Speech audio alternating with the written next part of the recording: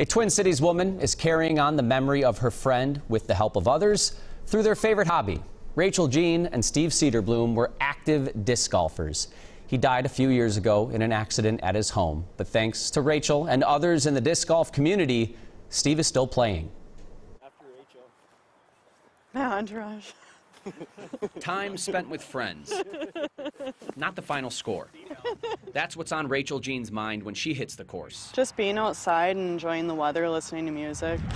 And her number one partner in crime for years was her buddy Steve Cedarbloom, who was never in a rush to tee off. He would want people to pile up and then start playing hacky sack and get to know them and then like make our group bigger. All right, let's see if I can get two on this one. I don't know. Steve's sudden passing hit Rachel hard, but after inheriting his discs, No pressure, right? like the pink one she's throwing now, Rachel had an idea. I wanted to have a way that he could continue to um, like get to know people on the course in some way or another.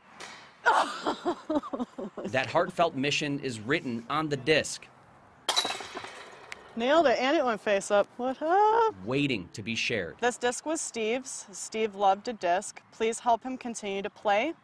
Throw this disc to the next basket. If you find this disc at the end, please bring it to the next course. Please share a picture and video and hashtag Steve is still playing so friends and family can follow along. She left several discs, all with the same story on Steve's favorite courses. I want somebody to pick it up and be like, oh man, like I gotta throw this disc real good, you know, I do a solid for Steve. Thanks to the hashtag, Check it out.